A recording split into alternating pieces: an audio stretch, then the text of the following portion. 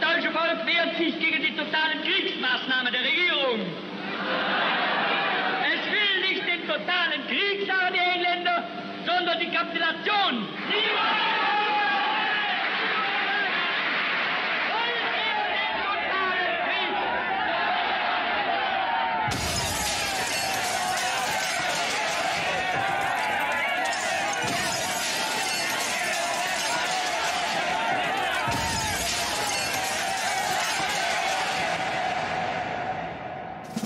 There was a venerable old man in a dark suit and coat being dragged by the beard and beaten by the Nazis wearing black boots. Shops owned by Jews were smashed in and looted. Windows were empty. Glass was everywhere. There were violent crowds getting thicker and there was the smell of smoke. There it was, the synagogue, the centre of our life where my father was cantor, in flames. My heart sank but my mother tugged at my hand and we walked on, outwardly unconcerned, inwardly in turmoil.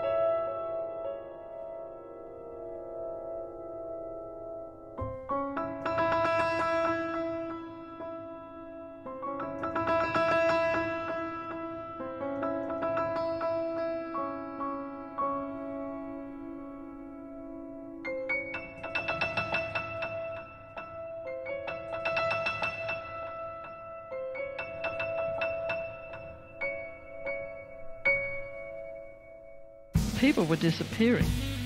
Some said to have jumped from windows, but we knew they'd been pushed.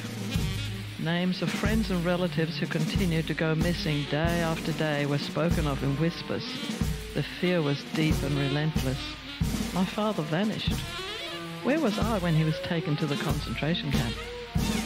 For many years, I never discussed the worst day of my childhood with anyone.